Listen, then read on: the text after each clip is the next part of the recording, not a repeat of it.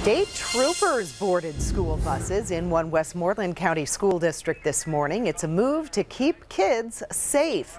They're looking for drivers who ignore the flashing red bus lights. Channel 11's Trisha Pittman explains who troopers are targeting in the crackdown. Having a state trooper on their school bus this morning may have made some Harrold Middle School students nervous. However, it isn't student activity state police in Washington are trying to curb. It's drivers who put those children at risk. A lot of people don't stop when the bus drivers do have the stop sign out.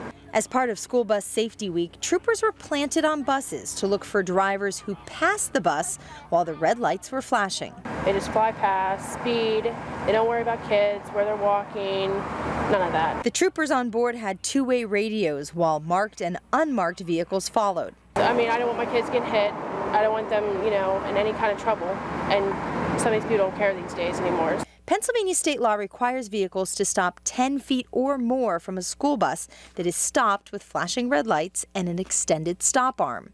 Drivers must wait until the bus's lights have been turned off and the stop arm withdrawn. All children must reach a place of safety before traffic can start moving again.